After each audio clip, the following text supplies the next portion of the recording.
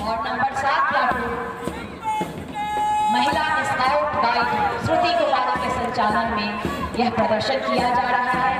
और अंतिम आठवां प्लाटून पुरुष स्काउट एंड गाइड उन्नयन प्रताप के संचालन में।